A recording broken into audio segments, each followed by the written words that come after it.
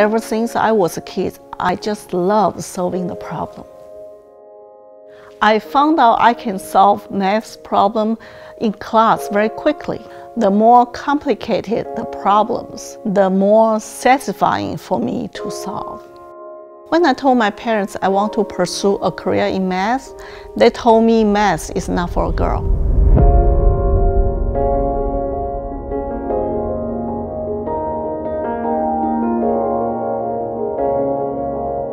My parents want me to study law. And just like other Chinese kids, I follow my parents' guidance. I got my degree in law, but I don't really like the career in law. I want something different, something uh, related to math.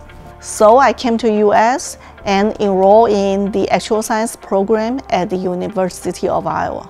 I got my master's degree in actuarial science then my ASA credential. After graduation, I joined the Principal Financial Group.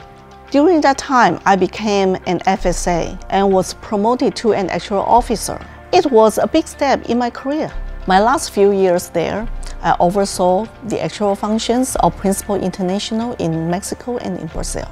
The international work was fast-paced and challenging. I wanted to take my career to the next level, but my boss told me I did not have management potential I disagree. So when I saw an opportunity in China, I took the risk.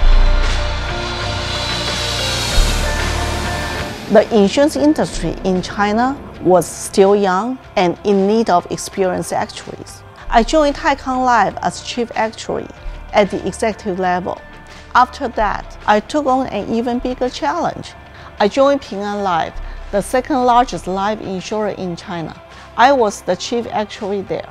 After one and a half years, I moved to Ping An Group, where I became Deputy Chief Actuary. Hi, Candy. I reshaped the actuarial functions for Ping An Group, focusing on capital solvency, actuarial risk control, and research. Right now, about 70% of the functions performed by the Ping An Group actuarial team were created under my supervision. As a result, Ping An Group has the best actuarial functions in the market, and I'm proud of it. For the past four years, I work on international regulatory level with IAIS. I propose solutions on key issues impacting Ping An and China insurance industry as a whole. The FSA is one of the reasons I could get the chief actuary role in China and also work with the IAIS. It's recognized and well respected globally. The FSA has been a valuable credential throughout my career. It has opened up many opportunities for me, both in US and China. And now SOA is adding predictive analytics to its curriculum which is very relevant in China.